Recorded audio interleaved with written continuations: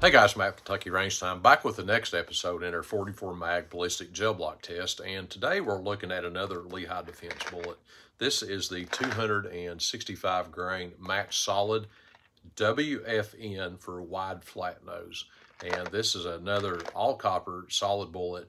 And it's just another devastating creation from Lehigh Defense. So let's get turned around here and take a look at the loading on this. And then we'll get out to the range and we'll see what this thing actually does in a lot of gel block. All right, so, so again, uh, CCI number 350 large pistol magnum primers, accurate number nine powder.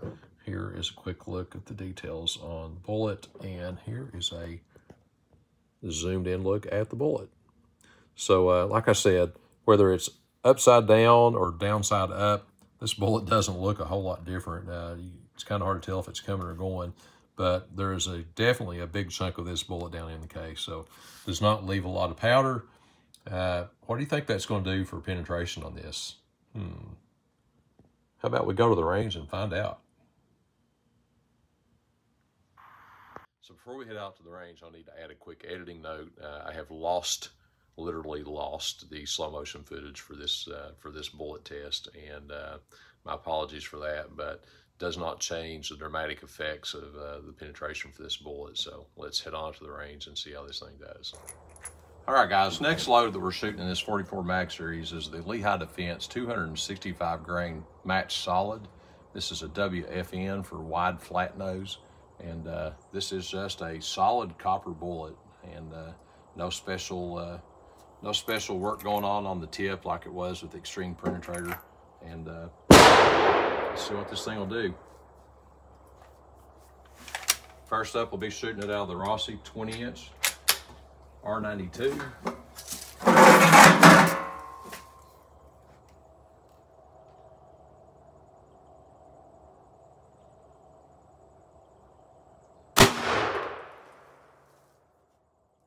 And we did not get a velocity.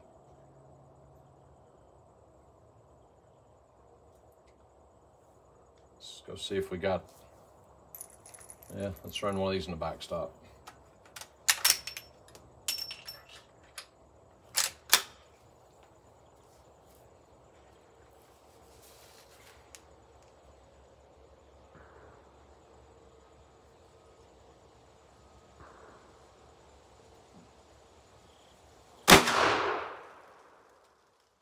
All right, velocity of 1224.9. go check out the catch. All right, guys.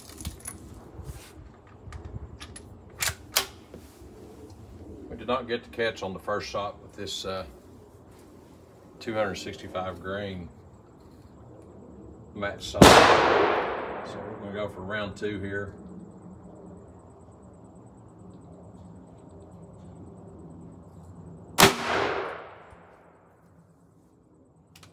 velocity that time. 1159.8. Standard deviation of 32.6. Now let's go see if we got a catch to go with it. Here's our wound track, guys, and pretty much what we were expecting from this wide flat nose, just straight line penetration all the way down through here, all the way down, and actually, this is it right in here. Four it barely did kiss the steel plate right here at the back end. So we're sitting right on 48 inches of penetration with this bullet. That is some impressive results there. And it did kiss the block, so we probably would have got a, a, maybe a couple more inches. Uh, just barely, not even enough to leave a copper swipe on it. You know, we're at 48 inches plus on this bullet with the rifle. All right, let's go back and see what the Super Red Hawk does with it. Next up, Super Red Hawk with the uh, 265 grain match solid from Lehigh Defense. The wide flat nose configuration.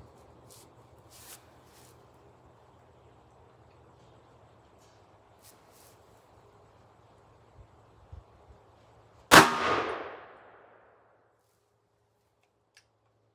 right, so that one hit a little bit higher than what I was wanting. Velocity though of 1121.7. Let's go see if we got a catch. So here's a really good look at this wound track, and this is going to be probably typical with these uh, match solids. Straight on through, and here we set, but this is not the whole story because we did kiss the steel plate right here, and it did bounce back into the gel block two and a half inches. So we're looking at 50 plus inches of penetration on this, and uh, you know that's out of that nine and a half inch Ruger Jeep or a Super Red Hawk. And uh, that is some pretty impressive penetration out of a handgun. All right, next up, Lehigh Defense 265 grain match solid out of the Taurus Tracker 4 inch.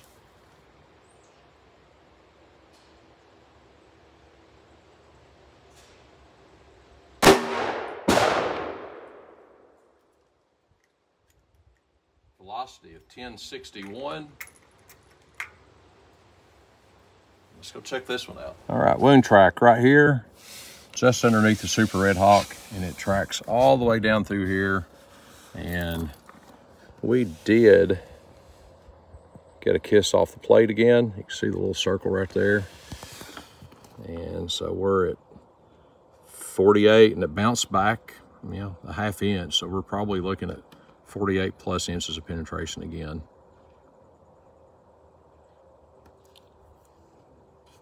I need more tables so I can throw another gel block up here. All right, guys, so I've reset the gel block. I now have three full blocks and a half block at the back end of the table with my steel plates behind that. So I know we're getting down to the shortest barrel in the test, which was going to give us the slowest velocity but see what it does. So this is the two and three quarter inch uh, Smith & Wesson Combat Magnum. It's an L frame, model 69.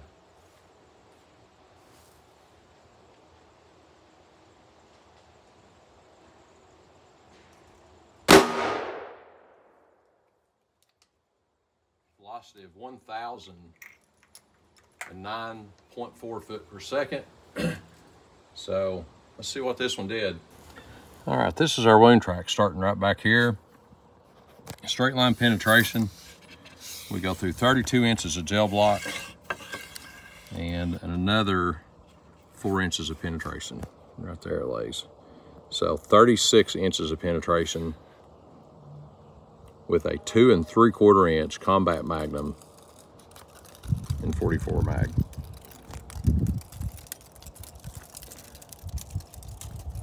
And I think out of curiosity, I'm gonna run one more in here with the Super Red Hawk and see if we can get through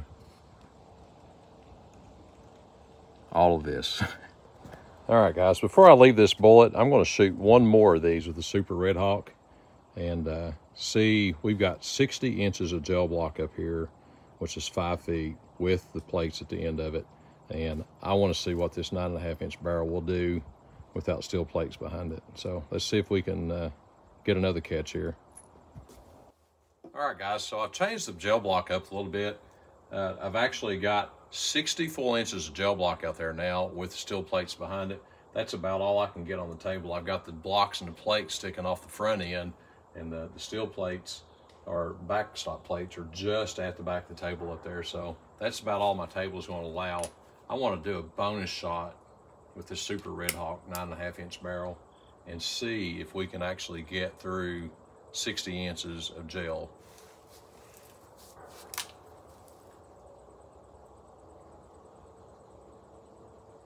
All right, velocity of 1149.9, so 1150 foot per second. And let's go see if we got a catch. All right, guys, wound track with the uh, bonus shot on the Super Red Hawk. Nine and a half inch starts right here, works its way right on down, and right on out the end of this gel block at five feet. And you can see right there where the bullet hit the plate and smacked out. Uh, I'm gonna go back to the slow motion and see which way this thing popped. This thing should be sitting pretty close. Hopefully we can pick it up. So we went through 60 inches of block, bounced off the plate, and I found it laying here on the ground. I'll get a picture of it coming up here in a minute had a pretty significant dent in the bullet, even after going through uh, five foot of gel. And uh, I went ahead and put this block back together. I've got the front end of this nose way up off the front of the table and the gel block with full behind it this time.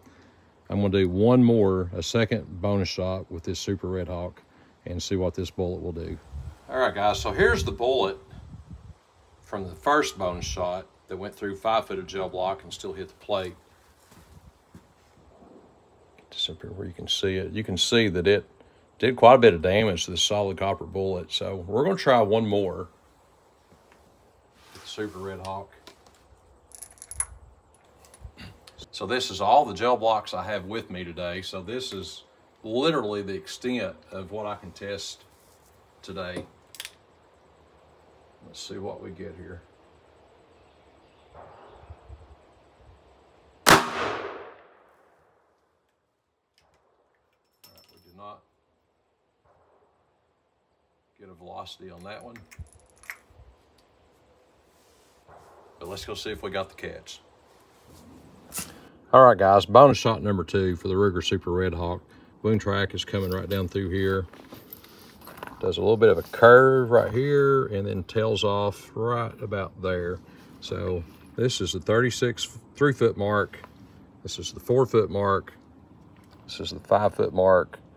And we're sitting here at about five foot one and a half inches of total penetration. So that is quite impressive, guys. All right, guys, here are our results. And this group right here is the original test group. Pistol, nine and a half, uh, four inch, and the only bullet that didn't make it through, what do we have? Three gel blocks up there, so 40, uh, 48 inches of gel block and impact the steel plates in the back, which is what bent the noses on these, uh, was the two and three quarter inch. And uh, you know, it pulled up there a little bit short of the plate. And uh, this is a, an unfired round. And then we did a couple of bonus shots with the nine and a half inch Super Red Hawk. And the first bonus shot was through like 60 inches of block. And we did make it through and hit the plate again. And then the last one, I had all four sections of gel block up there, as you can see in the video. And we did get a catch right before it exited the gel blocks and impacted the plate. So so absolutely amazing amount of penetration from from this bullet, uh, all the way down really to even even the two and three quarter inch. All right, guys. So uh, this is a pretty e extreme performance out of these bullets, and and that's actually what you would expect from this bullet, just just from looking at its design. So the spreadsheet's coming up, and there's uh, there's some really good data on there. Just to recap, uh, I actually took three shots with the Ruger. Um, I missed the velocity on one of those, so I didn't put it on the chart. So there's a Ruger shot one that says 48 plus. That's the the first one that smacked the gel block. The second one, the smack the gel block, I didn't get a velocity on that one. But the third one, which I have listed as shot two, that I did get the velocity on, uh, it finished up at 61.5 inches of penetration. And we only have 64 inches of gel block. And I kept sticking another piece and another chunk and another chunk until finally I had all four pieces of gel block out there. And uh, and we did finally get a catch without it going through and hitting the, the steel plate on the back end. Um, Smith & Wesson Model 69 with that two and three quarter inch barrel, that had a th at a thousand and nine foot per second, a thousand and nine foot per second had 36 inches of penetration, three feet. So, you know, this is the model that Smith & Wesson is, is uh, marketing as a concealed carry uh, platform and the model that a lot of hikers and a lot of campers and a lot of uh, Northwest hunters uh, uh, tend to gravitate to because of the short barrel and, and the ease of, of, being able to carry it with the pack and the other gear that they have. Uh, the Taurus Tracker at 1062, so you got an extra, I say inch and a quarter barrel, but actually the last inch is not threaded because of the ports, but uh, it only had a 62 foot, uh, actually wasn't even that, it was a 53 foot velocity bump uh, with extra barrel length uh, but it did go ahead and hit 48 inches plus of penetration. So uh, 62 foot makes a big difference out here. So, all right, read through this. Uh, if you got any questions, let's let's have those in the comments. If you've got any comments, we'll put them in the comments as well. And if you haven't already, please hit the like and subscribe button. My Linktree is currently down. Uh, I have decided Linktree is a very liberal, uh, not gun friendly platform. And at some point, the day after the election, um, they hammered me for posting up a, a, link and they banned my account with no warning, no recourse to remove the link that I didn't know was uh, not allowed because it matched all the other types of links that was on my Linktree. And uh, so uh, what triggered them into that action, I don't know. And honestly, I don't care.